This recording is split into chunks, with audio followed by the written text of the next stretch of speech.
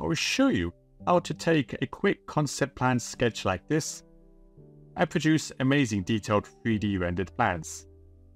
We have seen recently a lot of perspective sketches to renders or object to realistic renders.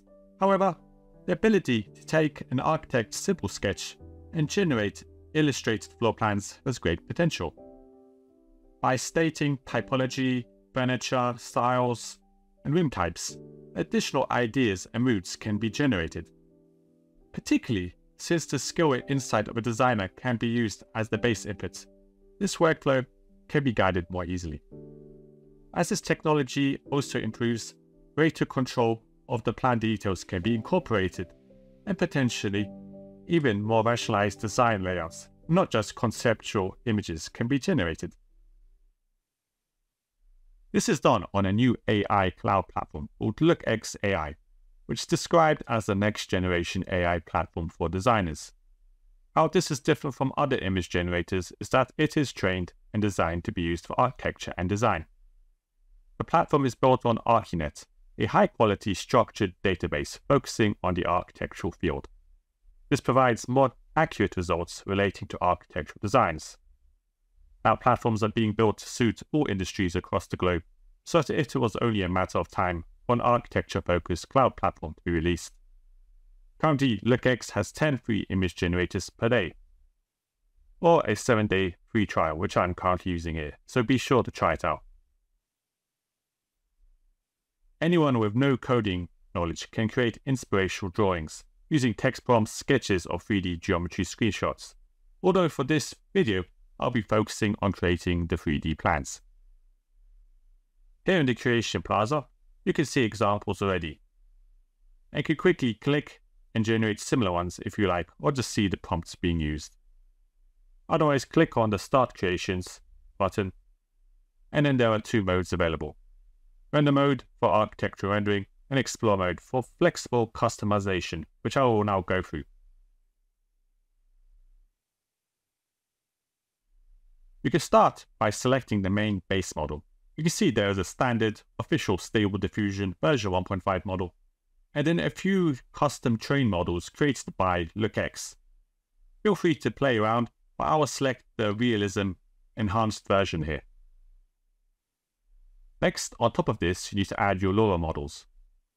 LoRA models are small, stable diffusion models that apply smaller changes to the standard checkpoint models. In other words, there are small train models created for a specific output, such as the ones here, created to make rendered plans in our case. So for this, you can easily train your own small custom models or try out ones made by other people. For example here, you can see there is a color floor plan style here, which I will use. For now, a strength of 0.5 is a good starting point for this model. This essentially indicates how much this model will influence your image. Next, you add in your prompt description here.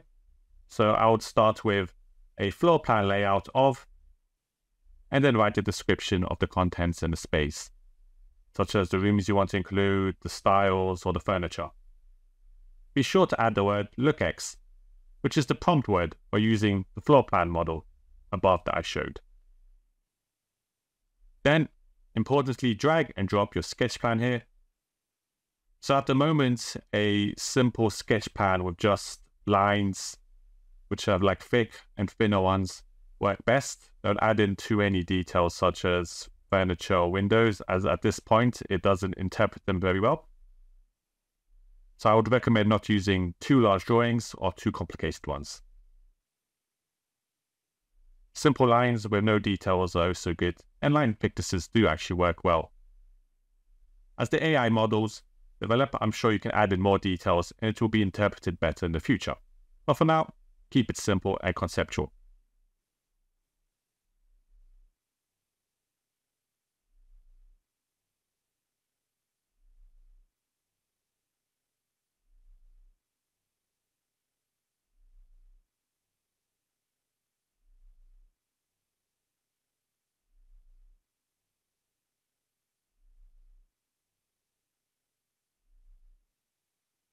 For me, it's the typical iterative approach of changing the parts and value sliders for the model. The model works better with apartment layouts than offices or libraries, for example, as it seems that this LoRA model has been trained on apartment plans. You can of course train your own models for office plans or other spaces, which I will show you how to do at the end of the video. As you can see from the generations here, the layouts are not accurate in relation to them being practically used for GA plans. Where the rooms of furniture are placed is purely based on the original plans used to train the model. However, this is a great starting point to generate mood boards, ideas, and quickly test out conceptual plan layouts. The strength in these image generations are that the sense of space, materials, lighting, and atmosphere are generated here, which cannot be easily read from just a simple line drawing. You can see here I'm using some unconventional plan sketches, such as organic forms in the first plan, and then later some modular squares and even a circular space. It is quite impressive to see how the AI adapts the furniture to these forms and how the materials change between the rooms. You can view all your generated plans in the gallery, and if you select the one you like, you get an enlarged view of it, and up in the top right there is a download button. There are four option types to download at various scales at different credit costs. The best one is the times 2 scale with Optimizer, which tries to fix generation errors. This takes about a minute to process, and then you have a downloaded high-res quality 3D plan. I will now also show you how to train your own models to create custom labels or styles. Here, press this Train Models button and click New Training. You can see the description says add between 15 and 50 images at 1 to 1 scale.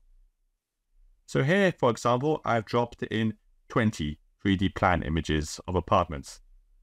I recommend to have a better data set than this with images of a similar character, perspective, and closer to the style that you would like to train on. Then add a model name and select a base model, as this training is actually already appended to this main model. The image type here will be a floor plan, and the training is a style type. Finally, trigger word is the word you need to add to your prompt for this model to take effect. This can be any word, although a less common combination of letters or numbers are better. Then you can simply click train, and once this is done, you can load this as a LoRA model as shown previously. So then you can do this for any type of style you want, or like train it on offices or libraries, for example. And you can play around with the various effects. This is, of course, another iterative process to improve the models. And as you practice, you learn what works better and what doesn't. You will notice that the generations are purely visual and do not propose intelligently thought out layouts, although I'm sure at some point in the future this feature will be brought in by combining these image generators with more advanced layout apps. For example, Arkit AI, Finch 3D, or SpaceMaker AI, you can see the potential to generate both effective layouts and amazing visual spaces. With this said, the model currently used does a good job at placing furniture, and even the textures and colors look great at creating a mood board. Overall, I'm impressed by what can be produced by a few black lines. Actually, I recommend you experiment with training your own model to get even better results. This all has great potential to combine the experience of the architect with the high quality rendering capabilities of AI. I'll keep you updated with what is happening and look forward to seeing what 3D plans you can generate yourself.